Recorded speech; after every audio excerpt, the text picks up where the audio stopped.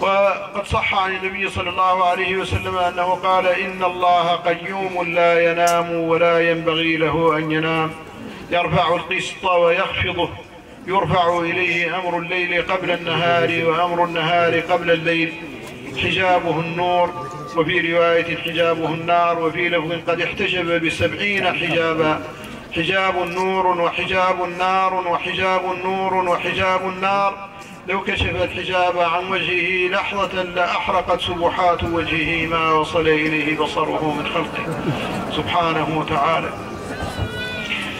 ومعرفته سبحانه وتعالى تقتضي إجلاله وتعظيمه وتكبيره سبحانه وتعالى في نفوس المؤمنين. ولذلك كان من أول ما خاطبنا به آه، في ثالث سورة أنزلت أو ثانية سورة أنزلت. هو قوله سبحانه وتعالى يا أيها المدثر قم فأنذر وربك فكبر وثيابك فطهر والرجز فاهجر ولا تمنن تستكثر ولربك فاصبر. إنه قال وربك فكبر. تعظيم الله جل جلاله في النفوس هو مقتضى معرفته.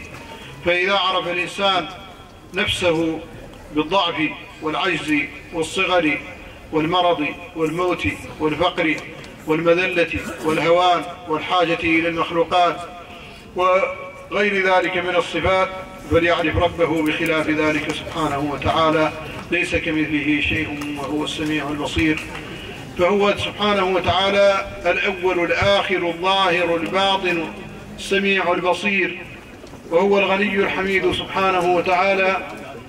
ولا يمكن أن يدرك المخلوقون كنه ذاته وإنما يعرفونه بصفاته التي أثنى بها على نفسه فإنه سبحانه وتعالى يقول في الثناء على نفسه في أعظم آية من كتابه الله لا إله إلا هو الحي القيوم لا تأخذه سنة ولا نوم له ما في السماوات وما في الأرض من ذا الذي يشفع عنده إلا بإذنه يعلم ما بين أيديهم وما خلفهم ولا يحيطون بشيء من علمه إلا بما شاء.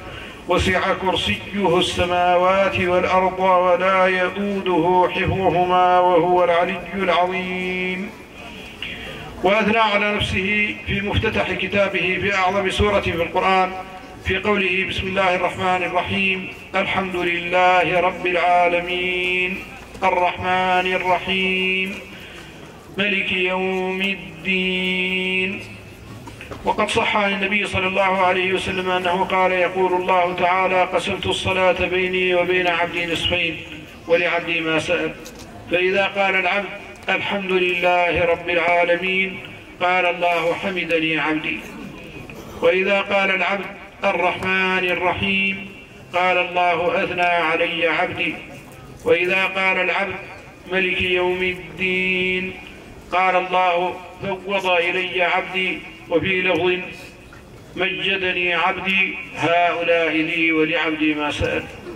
فإذا قال العبد إياك نعبد وإياك نستعين قال الله هذه بيني وبين عبدي ولعبدي ما سأل.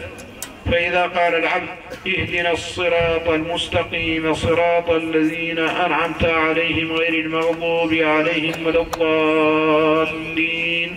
قال الله هؤلاء لعبدي ولعبدي ما سأل. وكذلك معرفته بأسمائه الحسنى فإنه سبحانه وتعالى يقول ولله الأسماء الحسنى فادعوه بها. ويقول سبحانه وتعالى لو أنزلنا هذا القرآن على جبل لرأيته خاشعا متصدعا من خشية الله. وتلك الأمثال نضربها للناس لعلهم يتفكرون. هو الله الذي لا إله إلا هو عالم الغيب والشهادة هو الرحمن الرحيم. هو الله الذي لا إله إلا هو الملك القدوس السلام المؤمن المهيمن العزيز الجبار المتكبر. سبحان الله عما يشركون. هو الله الخالق البارئ المصور له الأسماء الحسنى. يسبح له ما في السماوات والأرض وهو العزيز الحكيم. ويقول سبحانه وتعالى وهو الغفور الودود ذو العرش المجيد فعال لما يريد. وقد صح عن النبي صلى الله عليه وسلم أنه قال إن لله تسعة وتسعين اسما مئة إلا واحدا من أحصاها دخل الجنة. وفي أحاديث أخرى جاء عد بعض هذه الأسماء على اختلاف الروايات. هو الله الذي لا إله إلا هو عالم الغيب والشهادة الرحمن الرحيم الملك القدوس السلام المؤمن المهيمن العزيز الجبار المتكبر الخالق البارئ المصور الغفار القهار الوهاب الرزاق الفتاح العليم القابض الباسط الخافض الرافع المعز المذل السميع البصير. الحكم العدل اللطيف الخبير الحليم العظيم الغفور الشكور العلي الكبير الحفيظ المقيت. وفي رواية المغيث الحسيب الجليل الكريم الرقيب.